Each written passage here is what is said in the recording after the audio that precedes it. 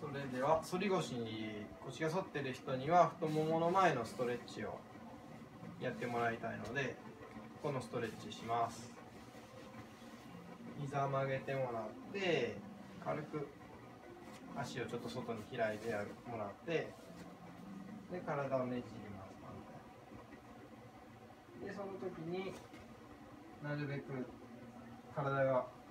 反対方向にねじれるようにとここのラインが一直線になるように流できる人は肘ついてもらってこれでもう前のストレッチができます。以上です。何秒ぐらいやったらいいですか？20秒から30秒ぐらい